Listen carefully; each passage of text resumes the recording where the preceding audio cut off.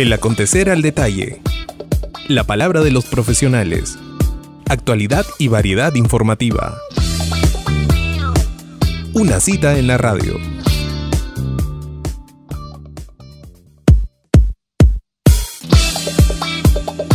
Amigos y amigas de Estación Upao, esto es Una cita en la radio.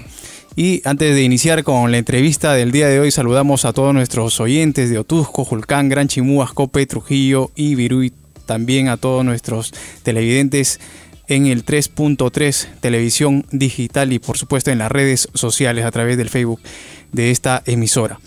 Bien, el día de hoy vamos a compartir, eh, bueno, un tema importante eh, se viene el Encuentro Empresarial del Norte, Innovación y Tecnología, Futuro de la Gestión Empresarial. Para ello tenemos ya en cabina el economista Ricardo Varillas Santisteban, gerente general de la Cámara de Comercio de la Libertad. Bienvenido a, Estación UPAO. ¿Cómo está? Muy buenas tardes, muchas gracias Gary. Bien, eh, se va a realizar ya bueno, se realiza hace 30 años este encuentro, ¿verdad? Sí, Con conferencistas internacionales, nacionales y eh, que crea mucha expectativa además. Así es, el, el, encuentro empresarial es una iniciativa que desde hace 30 años la Cámara viene promoviendo con la finalidad de analizar aquellos temas que son de interés y de impacto para, toda, para nuestra región, para todo el norte y que nos van a permitir desarrollar nuestro potencial. ¿No? Licenciado, ¿qué temáticas se van a, eh, digamos, plantear en este encuentro? Mira, eh, como todos los años, el encuentro trata de abordar eh, sesiones y, mesas de trabajo en las cuales todos los, los, temas de agenda relevantes están cubiertos. Por ejemplo, vamos a abordar megatendencias globales que nos ayuda pues, a orientar por dónde vienen eh, los, los el consumo, por dónde se está orientando y también por otro lado por dónde la oferta en el mundo va dando señales ¿no? para que el empresariado este, de todo el norte pueda eh, estar consciente de por dónde viene desarrollándose y, y, la dinámica económica. Por otro lado, vamos a hablar de tema de transformación digital que es un tema que no solamente le compete a las instituciones privadas, sino que el sector público tiene muchas oportunidades para aplicar la tecnología y mejorar la calidad de vida de la población. Sin duda, con, el avance que ha tenido la tecnología en los últimos años, creo que no debemos estar ajenos a ello, ¿no? Por supuesto. Y lo que tratamos de promover es que el enfoque es multidisciplinario, y es para todos los sectores también.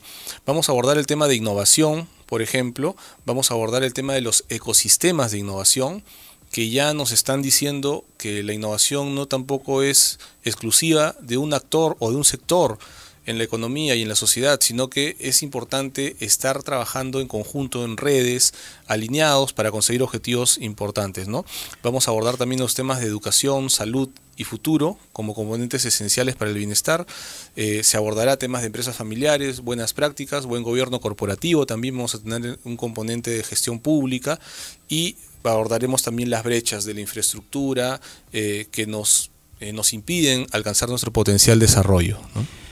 Bien, eh, bueno, en este encuentro empresarial del norte se van a desarrollar también la segunda rueda de negocios y el segundo encuentro estudiantil. Coméntenos sobre la rueda de negocios y luego también el encuentro estudiantil.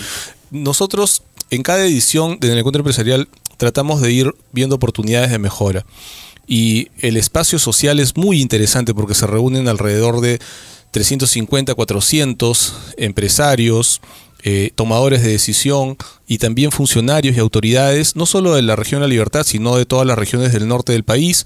Viene también un grupo de empresarios y, representantes de instituciones de Lima. Entonces se genera un espacio muy eh, atractivo para el networking. Y desde el año pasado estamos haciendo ya de manera explícita esta y, más sistematizada eh, esta rueda de negocios que permite que todos los asistentes puedan tomar contacto, ver oportunidades allí de alianzas estratégicas, de potenciales clientes, proveedores, eh, ver potenciales canales de distribución para algunos, etcétera, ¿no? Entonces se potencian las sinergias. Y por otra parte, este evento congrega alrededor de 30 speakers, muchos de ellos internacionales, otros nacionales, de diversos sectores y especializados en los temas que abordamos. Entonces, vimos ahí una oportunidad para que estos especialistas también puedan tener un espacio con los jóvenes estudiantes, por ejemplo, de universidades e institutos, que en un periodo muy breve ya van a estar en el ámbito laboral, desarrollándose pues en organizaciones públicas, privadas, académicas, de la sociedad civil, y es importante que ellos eh, conozcan a detalles algunos temas en los que nuestra sociedad requiere avanzar. ¿No? Para que en sus organizaciones ellos cumplan un rol también de agente de cambio, ¿no? Que se necesita mucho ahora. Claro, y en respuesta se va a dar este segundo encuentro estudiantil, innovación y tecnología. Eh, bueno, y que tiene que ver con la demanda del mercado actual también, ¿no? Así es. Eh, el encuentro empresarial es del 16 al 18 de octubre, se desarrolla en el Hotel Costa del Sol, y el día jueves 17 específicamente, en el turno de la tarde, nosotros vamos a tener este encuentro, segundo encuentro estudiantil del norte, innovación y tecnología, y vamos a contar con la participación de algunos de los más importantes expositores del encuentro empresarial para tener este espacio el jueves en la tarde y conversar con los jóvenes respecto a temas muy interesantes como ecosistemas de innovación, eh, prospectiva aplicada a los negocios. Eh, tecnología para la educación, la salud, entre otros, ¿no? Y transformación digital. Este está dirigido a jóvenes eh, de universidades, institutos, a jóvenes tal vez que están emprendiendo en, algún negocio. Así es. Eh, ahora eh, nosotros vemos que se generan más espacios en los cuales los jóvenes pueden orientarse mejor. Nosotros coordinamos, por ejemplo, como Cámara de Comercio, con las diversas incubadoras de empresas que ya se están gestando en las universidades, ¿no? Promovemos mucho el emprendimiento, las startups, y estos son eh, espacios en los cuales los jóvenes pueden identificar mejor por dónde va la necesidad, por dónde van las oportunidades del mercado, porque es allí donde los, la academia, los emprendedores deben eh, comenzar a preparar eh, ofertas para atender esas necesidades y esas oportunidades. Entonces, eh, nos interesa mucho que nos acompañen los jóvenes universitarios porque eso les va a permitir tener una visión muy amplia de cómo van a poder desarrollar sus emprendimientos.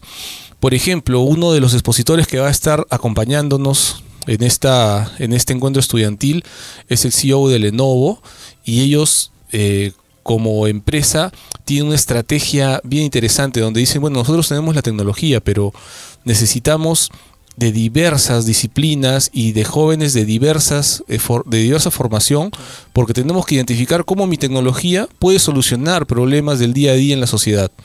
Entonces tiene una, eh, eh, una participación eh, muy interesante. se, da con un enfoque multidisciplinario, ¿no? Así es, y, y, nos permiten que podamos ver cosas que de repente en el día a día estamos más orientados a nuestra formación específica en el caso de los jóvenes, ¿no? Pero siempre es bueno escuchar a un especialista que conoce muchas realidades en el, en el mundo y que nos puede ayudar a cerrar esa brecha, ¿no? Por otra parte, vamos a tener también eh, ejemplos muy interesantes acerca de la perspectiva, eh, de cómo, cómo el tema de la transformación digital se va a hacer cada vez más imperante para la formación de cualquier profesional no importa cuál sea su especialidad, aquel eh, profesional que no tenga nociones de programación, por ejemplo, en el futuro, va a ser como un analfabeto. ¿No?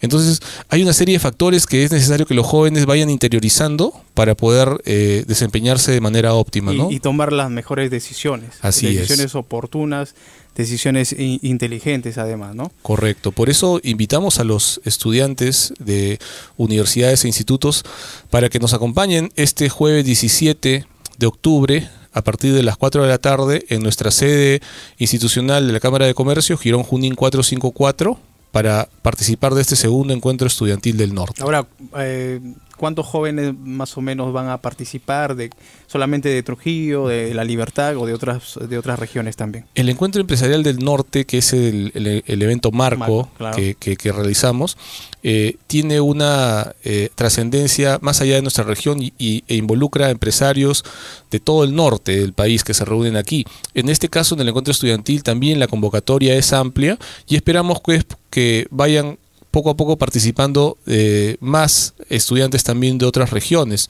Eh, la convocatoria es abierta a los jóvenes. Esperamos contar con alrededor de 200 jóvenes en esta oportunidad. El año pasado tuvimos alrededor de 140 asistentes y eh, vemos pues que hay mucha expectativa en los jóvenes por conocer sobre estos temas, ¿no?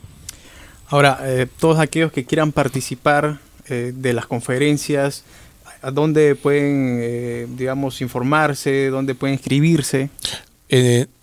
Ahora muy fácil, tú sabes, las redes sociales, en la página de Facebook de la Cámara de Comercio pueden encontrar la información para que puedan inscribirse y participar este 17. Los esperamos. Incluso hay eh, números telefónicos también para mayores informes al 943-777576 o al 99120. 8751, ¿verdad? Para, digamos, participar del encuentro empresarial del norte y por ende también al encuentro, al segundo encuentro estudiantil del norte, innovación y tecnología. Así es, Gary. Su invitación, eh, licenciado.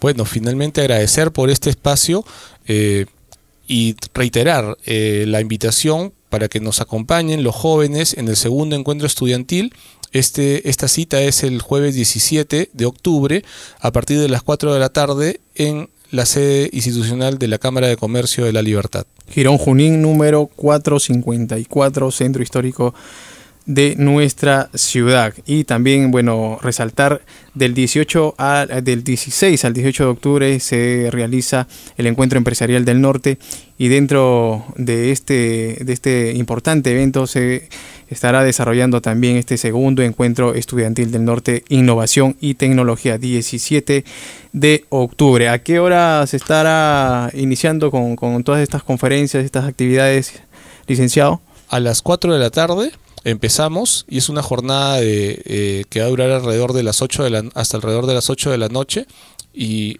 yo estoy seguro que el provecho que los jóvenes pueden encontrar en esta eh, compartiendo estos temas y a través de estos especialistas que tienen una visión global y sistémica va a ser muy provechoso. Mm, definitivamente, definitivamente es un abanico de oportunidades para los jóvenes, para los universitarios que quieran involucrarse ya con el mundo laboral, con el mundo de los negocios, con el mundo empresarial. Muchas gracias por visitarnos, licenciado. Muchas gracias a ustedes, Cari. Muy bien, estuvimos con Ricardo Varías Santisteban, gerente general de la Cámara de Comercio de la Libertad, quien nos ha dado mayores alcances sobre este encuentro empresarial del norte y el segundo encuentro estudiantil del norte, Innovación y Tecnología, 17 de octubre.